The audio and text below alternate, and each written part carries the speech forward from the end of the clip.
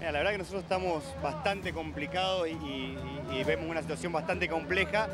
ya que nos hemos encontrado con un gobierno que eh, en las últimas noticias lo único que se refiere es al ajuste. Tenemos cientos de trabajadores despedidos, eh, queriendo imponerle techo a la paritaria como lo están haciendo a nivel nacional y con una fuerte voluntad de achicarle al Estado todo lo que más se pueda, ¿no? Con una, voluntad manifiesta de eh, que no tengamos prestación de salud, que no tengamos prestaciones educativas, que el Estado desaparezca de la intervención pública y eso es bastante complejo para los trabajadores en términos generales. Hoy nosotros estamos asistiendo a lo que consideramos un plan sistemático un ajuste estructural en el Estado que incluye este tipo de situaciones, ¿no? Digamos, despedir trabajadores, eh, eh, ponerle techo a la discusión paritaria y, después nos vamos a encontrar con la voluntad seguramente que si no se acepta una negociación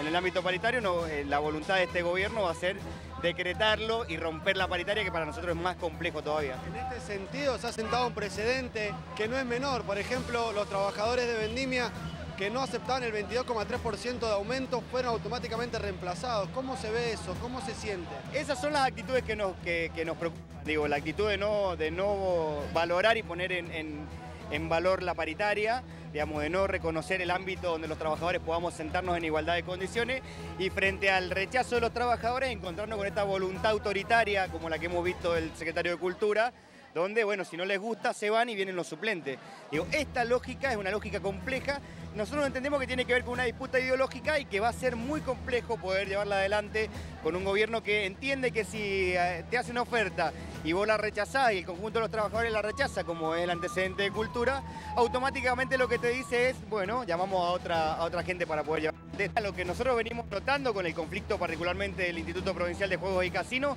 es que se viene construyendo una unidad donde bueno, ya hay puntos en común que nos van a parar a unificar el planteo, como es el despido de los trabajadores, como es ponerle techo a la paritaria o como es romper el ámbito paritario para que los trabajadores podamos discutir. Lo que está viviendo Mendoza no es ajeno a lo que se estar viviendo a nivel nacional, la ola de despido que estamos viendo ya no solo en el ámbito público, porque acá el problema es en los medios o el gobierno ha pretendido instalar que los trabajadores del Estado son ñoquis, sino que también nos estamos encontrando con, la, con trabajadores de la UOCRA, han sido despedidos más de 3.500 trabajadores en la UOCRA en la provincia de Mendoza, esto es